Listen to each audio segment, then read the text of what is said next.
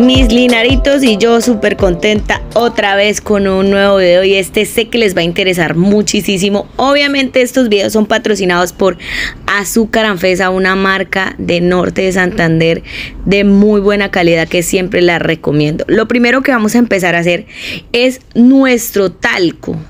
¿Cómo así, Marvisita? Nuestro talco con el que vamos a estirar nuestro fondant que lleva este talco fécula o maicena y azúcar en proporciones mitad y mitad.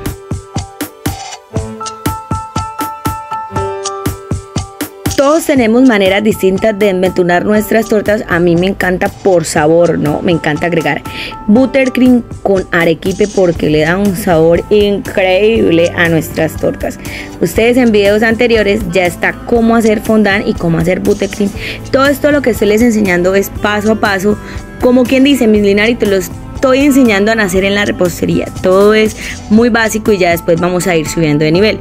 Para no cortarle a mi ponqué, pues porque obviamente no me gusta que me quede bajito, sino lo nivelo con un pedacito de fondant y luego en betuno, lo más básico. La idea es tampoco dejarlo tan lleno de crema porque eso puede hacer uno que se nos ensucie mucho el fondant y dos de que cuando nosotros le agreguemos la crema no salgan demasiadas burbujas. Bueno, no quiere decir que yo pueda hacer un empaste perfecto en crema y después cubrirlo sin milinaritos, pero ese es otro tipo de procedimiento. Aquí les estoy enseñando algo más básico y sí se puede.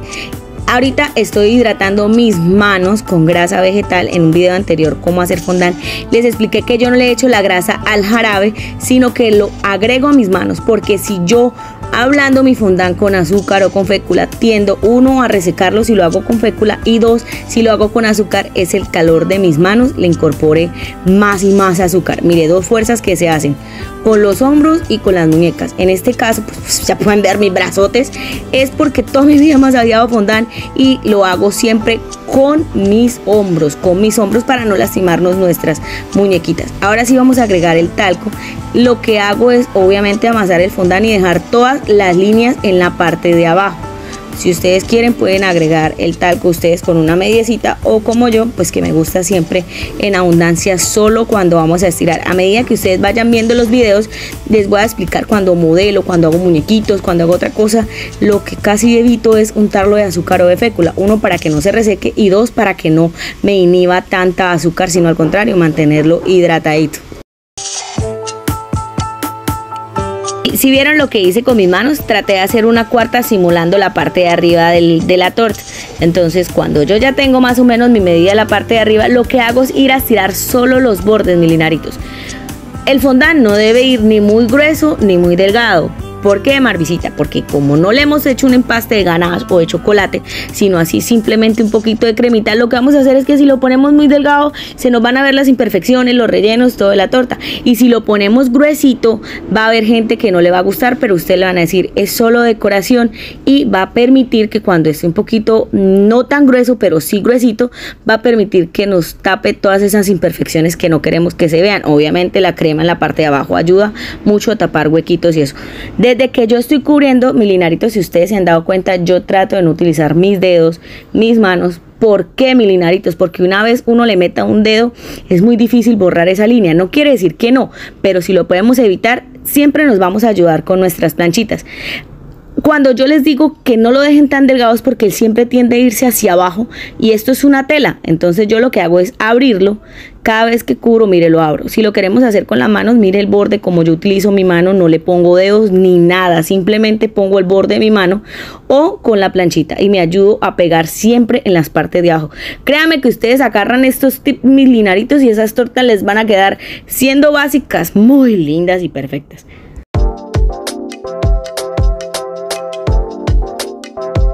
Olvidaba decirles que mientras estemos estirando el fondant no podemos dejarlo mucho tiempo porque al montarnos se nos puede secar, resecar y lo que hace es dañarnos nuestros bordes de arriba porque se cuartean. Entonces no hay que darle tanto aire. Y lo que más me encanta es utilizar mis dos planchitas, mis linaritos para darle esa simulación de borde perfecto que obviamente queda mucho más hermoso cuando lo cubrimos con ganache, con chocolate.